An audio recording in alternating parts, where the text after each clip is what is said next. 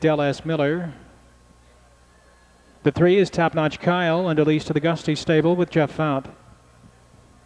Number four is Gifted Cowboy, owned by Glenn and Norma Huber with Randy Tharps. Five horse is Scrappy Eddie, owned by Walter Kaplinger with Mike Wilder. Six is Mark Clark's Out West, and Brad Handers in the bike.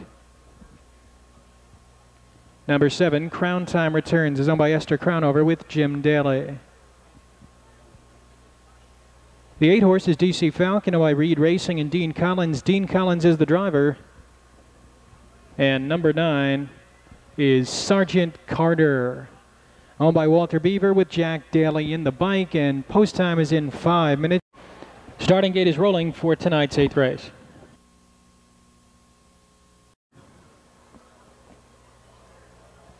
They're off. Scrappy Eddie is out fast along with Top Notch Kyle and Gifted Cowboy as they race around the far turn. Scrappy Eddie on the outside, Top Notch Kyle on the inside. Scrappy Eddie goes on with it. Top Notch Kyle back to second, followed by Gifted Cowboy third.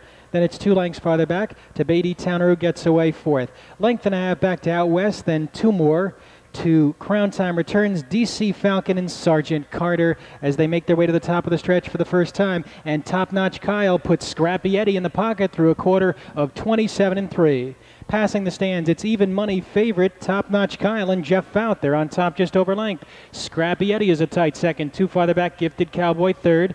Beatty Towner along the inside is a very tight fourth there as the six out west angles to the outside. Crown Time returns, picks up the cover. Then it's DC Falcon, Sergeant Carter, and Gomer Pyle is last.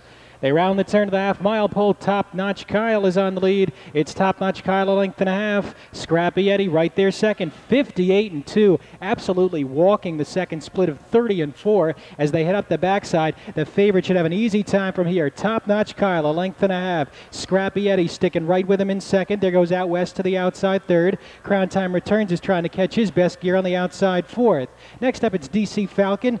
Gifted Cowboy is not going well. He's gapping out at the rail, six from the pace. Then two more back to Sergeant Carter and two more back to Beatty Towner. They're at the three quarters in 126 and 4. And as they make their way to the top of the stretch, top notch Kyle ups it to a 28 and 2 third split and has to contend with a challenge from out west. Scrappy Eddie's been sitting up close the whole way, and Crown Time Returns is angling out three wide for the drive as they make their way into the stretch. It's top notch Kyle on top. Here comes Scrappy Eddie driving up the inside. Out west is just drifting. Top notch Kyle and Scrappy Eddie. They hit the wire together. Scrappy Eddie getting up. Top notch Kyle and out west. 154 and 3. Scrappy Eddie makes it back to the winner's circle for the second time this season for owner Walter Kaplinger of Frankfort, Ohio. Walter Kaplinger, the trainer, Mike Wilder, pilots Scrappy Eddie to victory in 154 and 3. This is a new lifetime mark for the son of Nuclear Siren out of the chairman of the board, Mayor Sherry Hello.